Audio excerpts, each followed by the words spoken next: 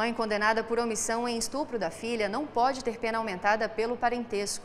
Foi o que decidiu a sexta turma do Superior Tribunal de Justiça em julgamento de habeas corpus. O colegiado considerou não ser possível aplicar o aumento de pena decorrente da relação de parentesco ou autoridade sobre a vítima, como previsto no Código Penal, para uma mulher condenada pelo crime de estupro da própria filha na modalidade omissão imprópria. Esse tipo de crime é caracterizado quando a pessoa, devido à posição de garantidora do bem jurídico, tem o dever de agir para evitar determinado resultado, mas não o faz mesmo podendo, e assim contribui para o desfecho do ato ilícito. Nas duas primeiras instâncias, ela foi condenada em conjunto com o companheiro por estupro de vulnerável, a pena de 17 anos, 6 meses e 8 dias em regime fechado.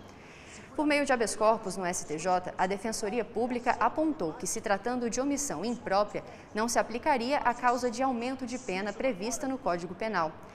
Para a sexta turma, a posição de mãe constitui elemento normativo do tipo penal, de modo que considerar essa condição para elevar a pena caracterizaria dupla punição pelo mesmo fato, o que não é admitido pelo ordenamento jurídico. Assim, a turma redimensionou a pena da ré para 11 anos, 8 meses e 12 dias de reclusão.